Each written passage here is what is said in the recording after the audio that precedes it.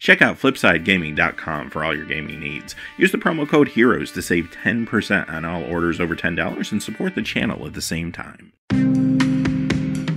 Hey there, it's John from Heroes and Legends, and welcome to another edition of the Magic the Gathering Market Watch. And I hope everyone's having a great Ixalan pre release weekend. I hope you're out your LGS having a good time playing with the new cards. In today's Market Watch, we're going to talk about how some of those new cards are already impacting the standard market and some of the singles on cards that have already been existing. And we'll look at how they're trending up and down. We'll also look at modern legal cards and legacy legal cards as we always do. And at the end, some notable mentions, mostly commander centric cards, are in the list there today. Now, quickly before we get started, just a real fast reminder if you're looking for a way to support us, our channel, what we do here, check out the description below. You'll find our Patreon page linked below. We're actually really close to our next goal. You'll also find some links for products on Amazon. If you go into Amazon through those links and really purchase anything, we'll get a small percentage back. And then finally, also Flipside Gaming has given a promo code to our viewers. Really awesome of them to save money. They are doing pre orders right now in Ixalan as well as Iconic Masters. So you could save some cash there. So, with that being said, let's get into the cards for today. And we're going to begin, as we always do, with the top five standard cards that have lost value this week. You'll see a couple of the cards that are rotating out, but some of the cards on the list today are actually staying in the metagame, but people are speculating that they may play a reduced role. Coming in number five, Torrential Gearhulk, down 28 cents to 17.99. Not a huge loss here, but a couple factors involved with this. Torrential Gearhulk, I mean, the card generally is just a powerhouse, and we saw how powerful it was when it initially came out in Kaladesh. Now, since then, a lot of packs of Kaladesh have been open. There's a lot of copies of this card out there, so that's going to help it stay a little bit lower in price but also too the advent of Abrade has also sent this card back a little bit just because so many decks are running it. Ramunap red decks have been very popular and very successful and torrential gearhulk has a hard time dealing with that card when it's out there. So because of that some of the control decks have looked for other win conditions and such and i do think this card will continue to slide a little bit Number four, Hour of Devastation, down 30 cents to 353. I mean, this is a great board sweep, and even as the meta shifts, this isn't going to necessarily go away or anything like that. But this is the only card on our list today which is not a mythic. This is a rare, so it is going to have a hard time maintaining its price point, especially considering that so many packs of Hour of Devastation have been open. So a lot of copies out there. Even though it sees play, it's not going to be a card that is going to easily hold value, so it will continue to slide down. Number three, Ulamog the Ceaseless Hunger, down 36 cents to 1201. Now, this card has seen a pretty big slide over the last couple months as we moved closer to rotation, and that's to be expected. It did hold a little value, though, maybe more so to some of the other cards that were rotating out because it was seeing success in the most previous meta in some of the ramp decks. So now those players are starting to think about selling off to pick up cards for the new meta, and because of that, Ulamog is sliding a little more this week. I don't expect it to slide all that much more. It's seeing a lot of play outside of standard, which of course would include things like Eldrazi Tron and Modern, which is wildly popular, not to mention Legacy Eldrazi Stompy. So the card has utility. It's going to continue to have utility outside of standard. So even though a lot of packs have been open and a lot of packs of Battle for Zendikar have been open, believe me, so the card is going to have a hard time probably starting to rise, but over time it will grab a foothold and it will start going up slowly. So this is one to keep an eye on. Number two, Relentless Dead, down 64 cents to 713. Another card that's rotating out, and much like Ulamog, a card that saw success in the most recent meta. Zombie decks did not go away, even though they may have been a little bit lessened over the last number of months. But at the same time, the card was still popular. But now the last few copies starting to be sold off from the standard players, and you see the dip here is pretty evident. Coming in at number one this week, Nicol Bolas, God Pharaoh, down 92 cents to 1624.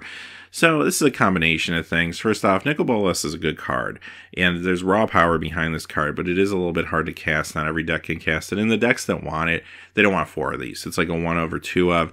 We've seen these in Planeswalker decks, we've seen them in control decks, and I don't think that's going to change. I think the role of this card is going to continue into the new meta, and it's a limited role. It's a smaller role. It's going to show up again as one ofs and things like that. It might even show up like in a pirate deck. I mean, it's in the right colors in Grixis, and I do think this card will continue to see about the same amount of play it sees now.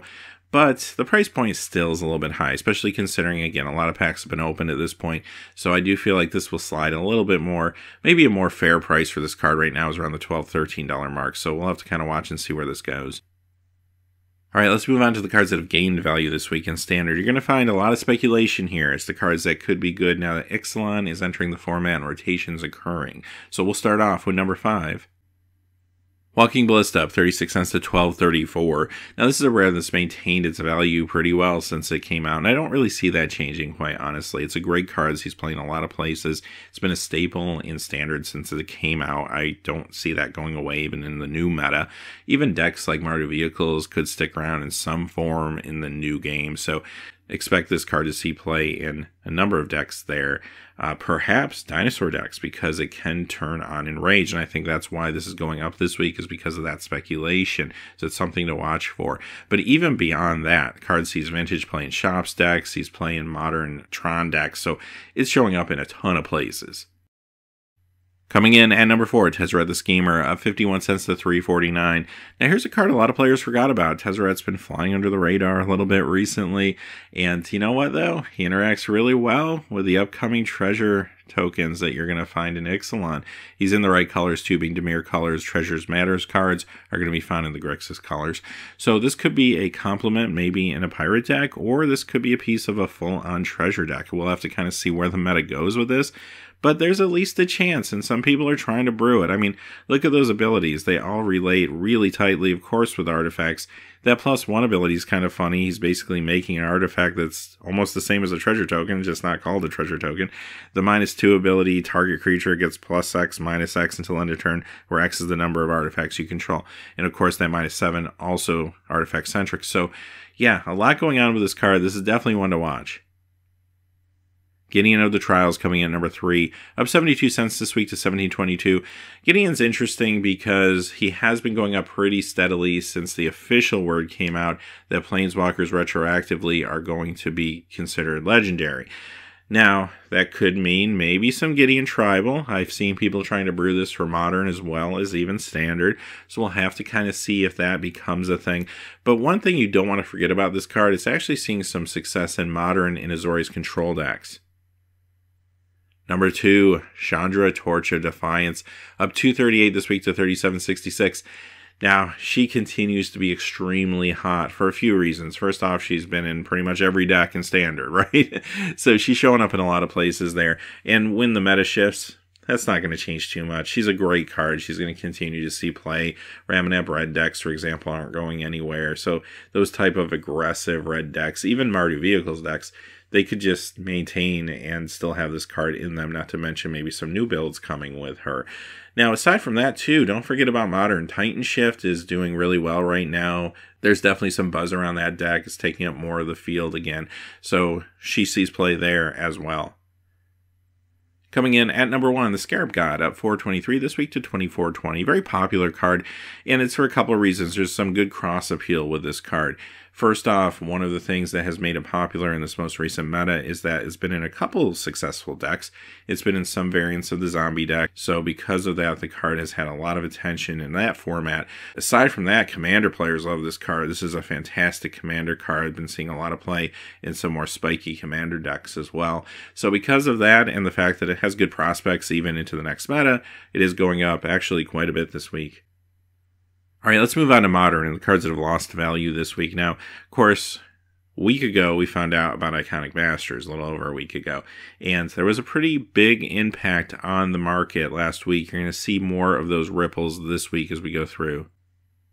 Coming in at number five, Tarmogoyf from Future Sight down $1.75 to $117.99. Now, this is the original Goyf has got unique art, unique card border, so there's always going to be some interest in this card. It's still Tarmogoyf after all.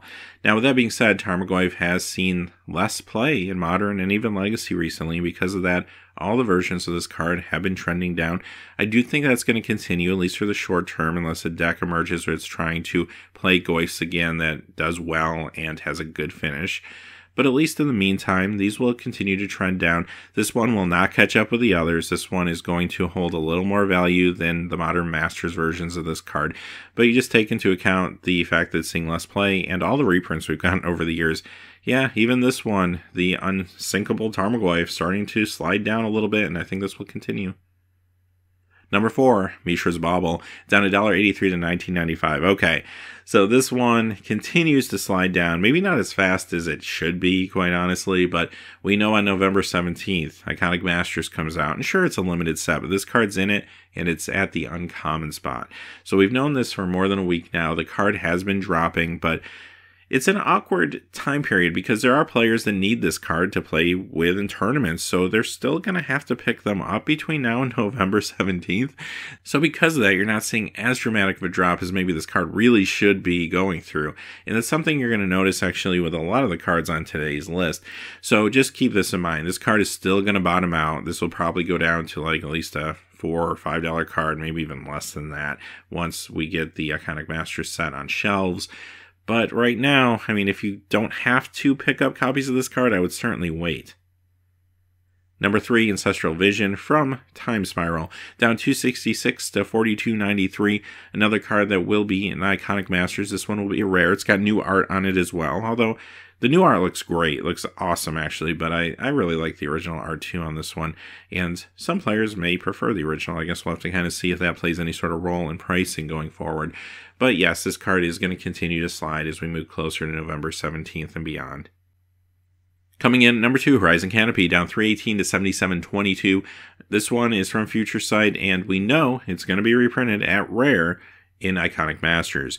So yes, it is going down. It's been going down for a couple weeks now, but I will say this card actually went up a little bit in the last 24 hours. So it just goes to show you it's not going to be a crash. It's going to be down a little bit, up a little bit, down a little bit, up a little bit, probably until the set comes out towards the end of November. Now, I will say this, if you're in the market of picking up Horizon Canopy, watch the market very closely. You're going to have a small window of time to get this at the best price. It's going to be probably shortly after the Iconic Masters set comes out, and people are opening packs and drafting, and you're seeing that happening at game stores, and then people trying to sell their cards back to the stores and such. That's going to be the time period where you'll get the best deal. If you wait too long, this card will start creeping up, and I saw that a lot with Modern Masters 2017. The set came out, prices went down, and then they kind of stabilized, and people thought they were going to keep going down, or all of a sudden more magical product was going to show up, and they would get a better deal. That better deal never came those cards started going up. And they went up slowly at first.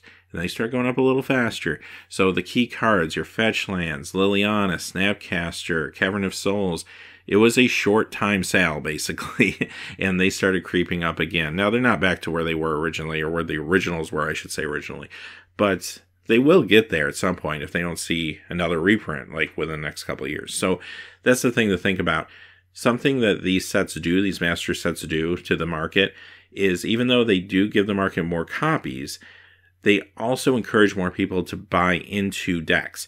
So for example, I'm a average player and I say, you know what, I can't afford for Horizon Canopies to build whatever deck I want to build. So I'm not even thinking about that. But then I go to a draft and I pull one in my draft of Iconic Masters. And maybe I trade for another one because I've got another great pull that I don't really need to play with. So I trade for this. Now I have two copies.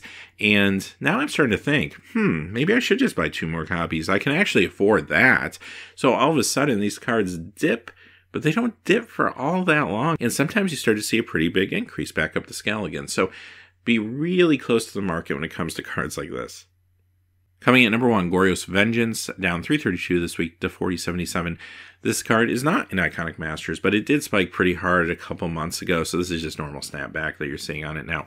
It was really undervalued a couple months ago, around the $20, $25 mark, so this isn't too surprising that it went up and is now stabilizing, but I do see it coming down at least a little bit more, but it won't go back down to $20, $25 again. All right, let's move on to the top five modern cars that have gained value this week. And with one notable exception, you're going to see mostly commander cards on the list this week.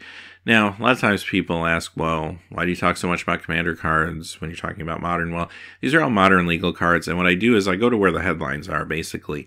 And if the modern cards aren't moving that much, there's not a lot to talk about there. So, what I want to do is spotlight the cards that actually do have an impact on people's financial situation, whether they want to pick up cards or maybe trade them away, what have you. So, we're going to look at the cards that matter. And this week, the cards that matter are commander cards. Now, that will change. I mean, this is normal because when we get closer to Iconic Masters as well as Masters 25, there's going to be more interest again in some modern builds and stuff like that. Or if there's a major modern tournament with a surprising outcome, things will change, obviously. But with that being said, number five is Scapeshift, a modern staple. It's up 92 cents to 55.86. Now, Titan Shift deck's actually pretty good, seeing a nice percentage of the field, a little more than probably they were seeing a few months ago. So, with that being said, in this card, it's still not being reprinted. It's not in Iconic Masters. Maybe Masters 25, hopefully, but is taking up this week.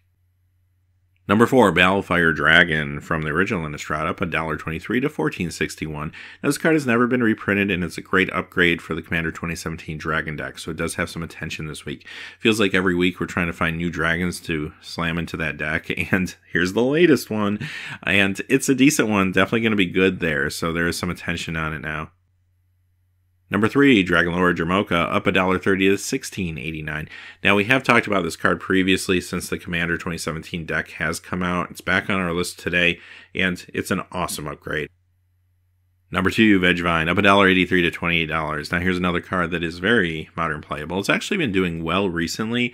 Now, it's going up a little bit this week because Saffron Olive did feature it in a deck tech, a Jund Deathvine deck. Number one, Knacksaw Clique, up 204 to 462. You might be wondering yourself, why Knacksaw Clique, number one? Well, it's another good commander card. There's actually a pretty spiky commander build going around right now with Mairsil, which was one of the alternate commanders from the Wizard deck, which just came out a few weeks back. And this card is part of that. Now, the reason this one's jumping maybe more so than some of the others is because it is a Shadowmoor rare. And that block, especially Lorwyn Shadowmoor, was out during a time when sales were down for Magic, which meant that less cards were being printed. So a lot of time these Lorwyn, Morningtide, Shadowmoor, Eventide cards tend to jump pretty quick. And I think that's part of why this has jumped as fast as it did. All right, let's move on to Legacy and the cards that have lost the value this week. And again, you're going to see some ripple effects from some of the buyouts over the last few weeks. Number five, Nether Void, down 2602 this week to 399.95. This was a card that looked to be a target of buyout a few weeks back, and perhaps a lot of the copies are back in the market now as it's been trending down. Number four, same story here, Elephant Graveyard, down 2801 to 187.96 target of a buyout about a month ago or so at this point, and it's been slowly declining ever since, and that trend has continued. Number three, the Abyss down 29.49 to 389.95. Now, maybe this was a buyout, but this card does tend to flux a little bit back and forth, so maybe it was just normal stabilization too. The Abyss is a good card. It's definitely playable in 93.94 formats, among other places. Number two, City of Brass, down 4301 to 199.99. This is from Arabian Nights. And all the Arabian Nights cards have been wildly popular, even the ones not on the reserve list, like this one. And number one, speaking of Arabian Nights, Diamond Valley, down $58.92 to $299.95. This card was hanging around the $200 price point. It then was definitely targeted for a buyout. It spiked really hard, starting to come back down again. I don't think it will get back down to $200, but it'll at least come down a little more. All right, let's move on to the cards that have gained value this week in Legacy. Coming in number five, Erhnam Djinn from Arabian Nights, of course, up 22.65 to 121.98. Now, this is not on the reserve list. There's actually cheaper versions of the card out there, but again, there's just a lot of attention on these Arabian Nights cards. Number four, Juzam Djinn, up 28.74 to 575. This card used to sit around the $500 mark. Recently, it's been sitting around the $600 mark. It's definitely seen some real growth. Number three, Underground Sea from Unlimited, up 3801 to 55701. Number two, City in a Bottle, of 5241 to 250. This does feel like another buyout from Arabian Nights. And number one, this one's interesting. Mox Diamond up $110.07 to $299.95. It's not very often that you see a card on our list when we talk Legacy that actually matters in the Legacy game, but this one does. It sees play in like four color loam and maybe more importantly, Lansdowne. So when you take that into account, this card could be seeing some increase due to playability but also the playability of the card may have also attracted the attention of people just trying to buy copies and that's probably what happened here to be quite honest. This is a unique card because it is on the reserve list But it did get a reprint because the reserve list had different rules that changed a number of times throughout its history.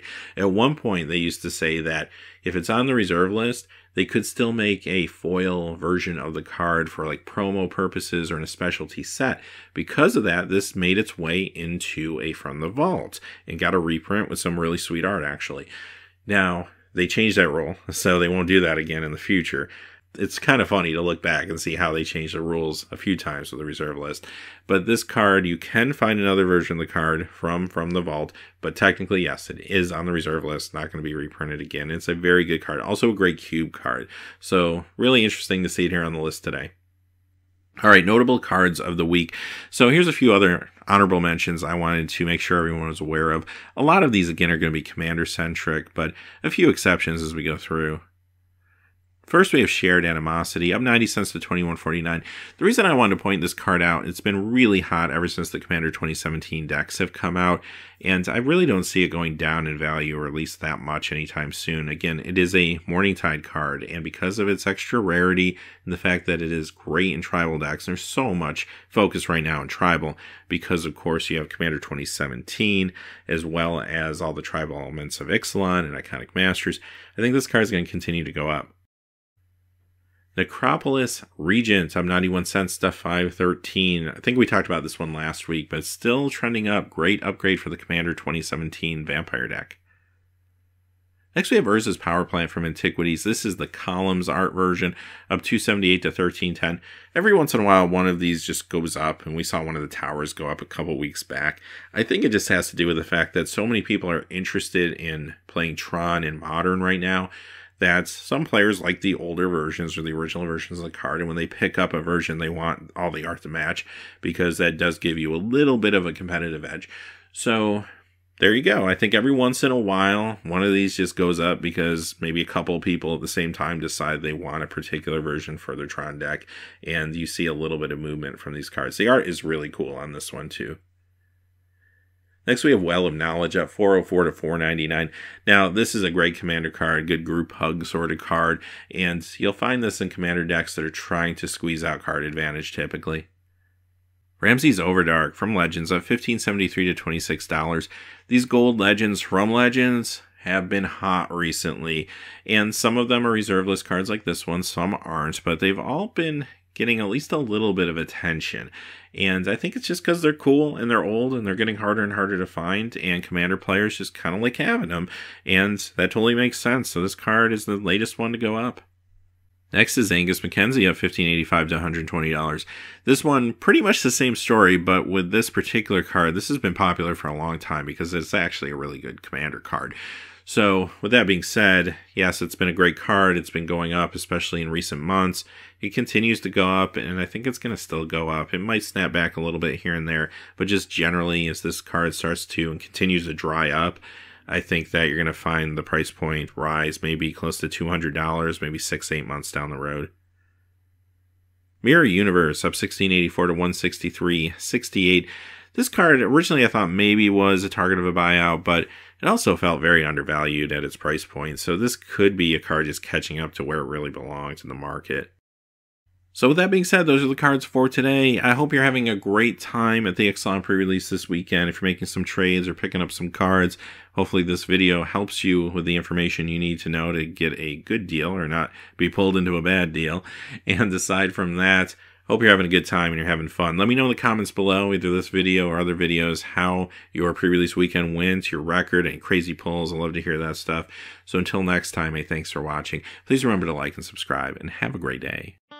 Hey, thanks for watching. This video is made possible by the generous support of viewers like you on Patreon. Check out the description below for links to our Patreon page as well as our Amazon affiliate store, where a small percentage of all sales will also help support the channel. Finally, if you haven't had a chance yet to subscribe, hit that subscribe button so you don't miss any new videos on Heroes and Legends. Talk to you again soon, and have a great day.